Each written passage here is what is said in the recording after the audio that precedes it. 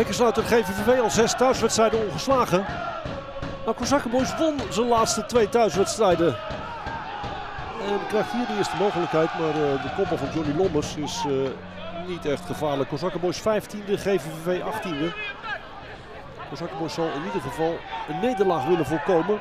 Omdat GVVV dan dichterbij komt. Dit is een counter van GVVV. Bitter is snel, Burgering is snel. Burgering gaat alleen en Burgering maakt de 1-0 in minuut 9. GVVV op voorsprong. Panhuis in vuur en vlam. En Van de Meulenhof geslagen. Burgering op snelheid. Ja, dan is hij niet te houden. En scoort hij dus de Leeuw. Voorzet is uh, niet echt gevaarlijk. Wordt niet goed weggewerkt. Bitter met de kans op de 2-0. Maar ja, het blijft bij een kans. Wat meer tijd dan hij dacht, denk ik. Veenhoven dan. Veenhoven voorbij Potjes. Onderuit. Vrije trap voor Kozakkenboys op een uh, best gevaarlijke plaats. Supporters van Kozakkenboys uh, die zien er wel wat in. Maar waarom is dit een vrije trap? Ik vind hem uh, wat makkelijk gegeven. Maar hij ligt er nu en Lars Hutte schiet er ook nog in. Lars het is pas zijn derde van het seizoen. Maar wel zijn tweede tegen GVVV. Want hij scoorde ook al in Werkendam. Toen het 1-1 werd. Bot. Dit is aardig. Bot stuurt uh, potjes het bos in. Leon Bot is helemaal niet een type voor dat soort acties. En het schot is een makkelijke prooi voor Jan van Willigen. Leon Bot. 12 jaar in het eerste van Kozakkenboys. Bezig aan zijn afscheidstournee. Hij uh, stopt na dit seizoen.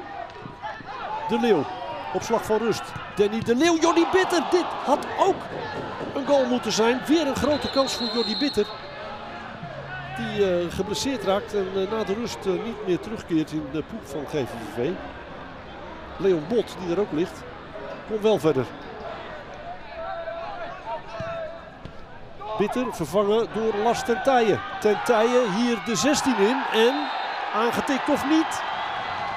Mulder legt hem op de stip. Dan staat Tentijen koud een minuut in het veld. Gele kaart ook voor de man van de overtreding. Als het een overtreding was van Nuland. Ja, hij tikte wel op de hak. Tentijen gaat het zelf doen. En uh, schiet hem binnen. GVVV, slechte eerste helft trouwens. Kozakkenbos ook niet best. Nu naar de eigen aanhang toe en uh, dat willen ze weten. De voorsprong voor de Venendalers.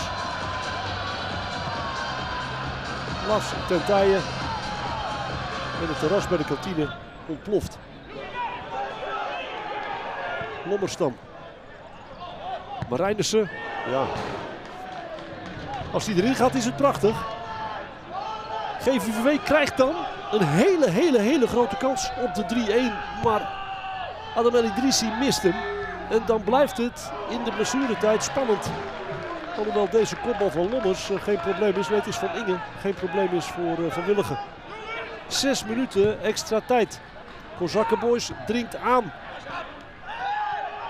Een scrimmage voor het doel en Mulder legt hem weer op de stip.